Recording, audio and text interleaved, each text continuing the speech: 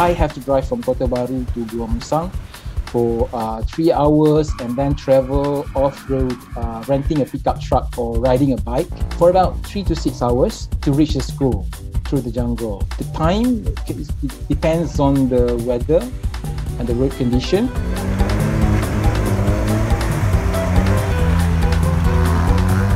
That is the commitment shown by Mohamad Faiz Mohamad Shakri each time he travels to Sekolah Kebangsaan Bala in Gua Musang, Kelantan to teach orang asli children.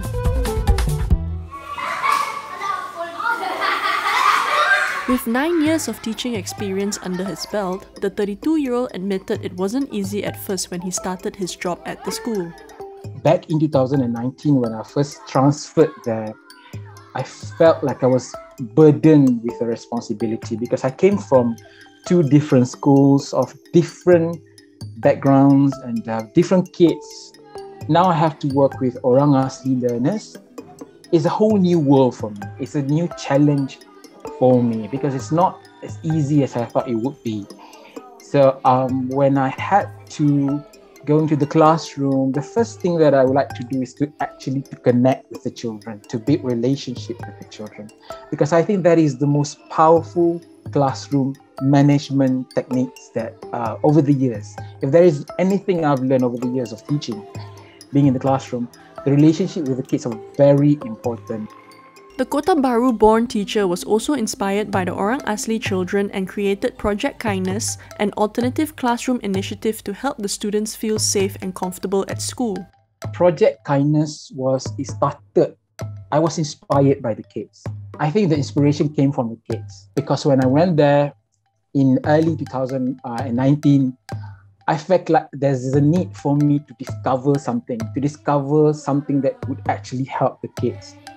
So one day I took them out because I felt like they are they're being confined in the classroom. They're not interested with whatever I'm doing in the classroom. I was actually singing with them. I, I'm not a good singer. I, I sang with them, but they're not they're not interested with whatever I'm trying to do.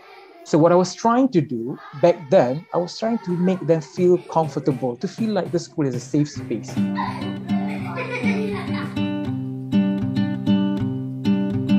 Mohamad Faiz, who teaches English, added that treating his students like family was what set him apart from other teachers.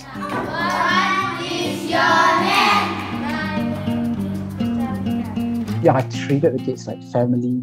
I think it's, it's the sacrificial love that I have for the kids. I didn't think of the kids as strangers. I didn't think of the kids as orang asli learners. I don't think of them as you know other people's children i i always call them my kids my children. And it's the love for the children love for the subject love for being there are the things that make me different. I think However, he said the school is in need of more educational resources to help make learning more fun and interesting for the children. We have a computer lab actually, but the computer lab is basically is just there for display. We don't even we have computers, but none of them are working. We have a library. We don't have a science lab. Yeah, basically it's just a basic school that does look like a school, but uh, in terms of resources, we still need more. As for his future plans following the success of Project Kindness, Mohamad Faiz said he plans to teach the Orang Asli learners life skills using hydroponic kits. I was thinking of project-based learning because uh, my headmaster managed to get this uh, hydroponic system set, two sets actually. I'm planning to teach them how to grow vegetables and sell them. I want to teach them some life skills and the hydroponic project, I think that it would be a perfect opportunity for me, you know, to involve the kids, to teach them about life and stuff, and to, you know, to get them engaged in learning. I don't want just to be there to teach them the language. I want to be able to teach them how to live. I want to teach them how to, you know, how to live their life, how to lift them up